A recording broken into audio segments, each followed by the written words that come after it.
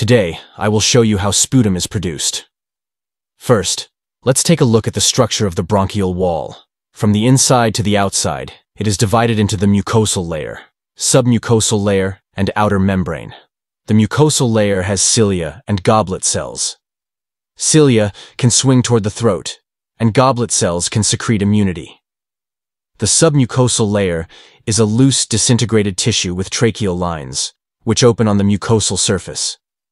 The secretions of the epithelium and tracheal lines are protective devices against dust roads. The secretions contain various immunoglobulins, which have antibacterial and antiviral effects and are part of the body's defense system. The outer membrane is composed of cartilage and fibrous tissue. There are smooth muscle bundles in the membrane wall. When the smooth muscle contracts, it can make the trachea narrower.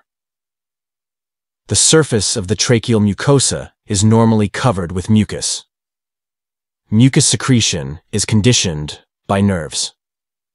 Irritants such as dust and smoke can stimulate the secretion of secretions. Dust and bacteria in the inhaled air irritate the tracheal mucosa. The tracheal mucosa secretes more mucus, which adheres to dust and bacteria. The cilia of the mucosa increase in activity and keep swinging toward the larynx, pushing mucus, dust, and bacteria into the laryngeal cavity. The mucosa of the laryngeal cavity is very sensitive.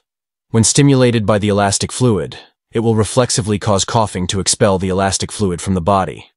However, if one smokes frequently, or is exposed to dusty environments for a long time, excessive and rapid mucus secretion will lead to the formation of sticky mucus that cannot be cleared by cilia or coughing, which will clog the smaller bronchi and cause infection, leading to bronchitis, COPD, and lung diseases.